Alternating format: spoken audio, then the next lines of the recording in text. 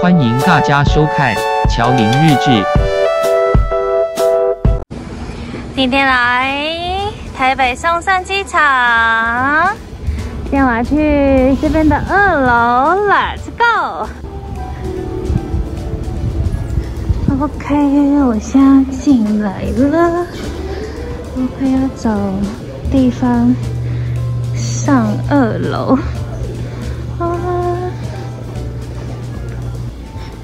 这是台湾换汇的地方。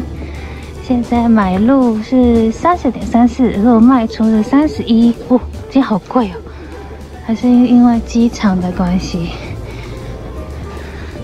兆丰也是三十一。嗯，好，我这边要走，这边有个手扶梯，有看到吗？我要这边上二楼。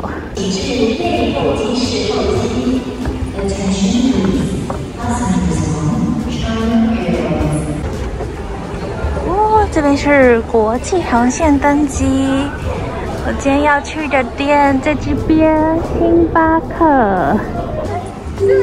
好，为什么要来这家店呢？因为我来这家店预约了一个袋子，刚刚有打电话要来这边拿。呃，我刚刚打电话来说我要拿那个袋子，深绿色的。嗯，谢谢。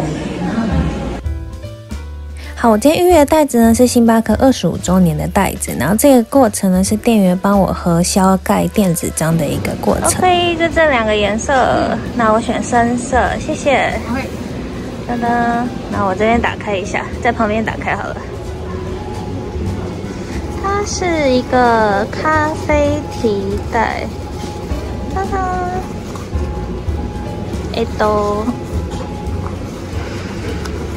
用单手好难开哦。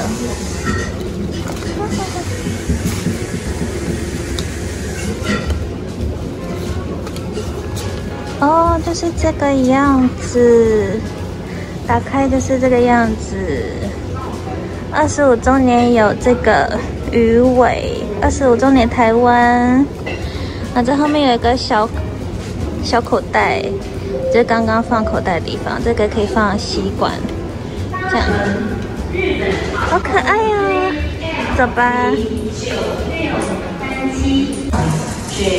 好，今天为了这个袋子跑了十几家店，超夸张的。好，今天这边教大家怎么样喝免费星巴克的方法。好，今天星巴克呢，股价在一百一十四，它的股票代号是 SBUX。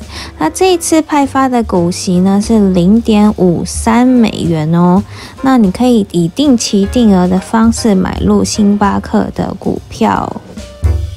好，如果你每天呢喝一杯星巴克，假设花五美元好了，那这样子一年呢就会花掉你一千八百美元哦。想想一千八百美元除以一百一十四，那大概是十五，那十五再乘以零点五三的股息就是七点九五啦。那这样是不是就等于一杯咖啡的钱呢？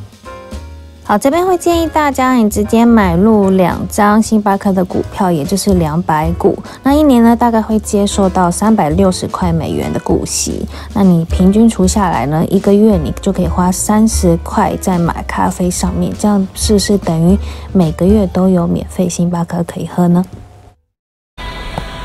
喜欢我的影片的话，记得按赞、按订阅、按分享哦，还有记得开启小铃铛，我有影片上传的话，可以第一时间通知你哦。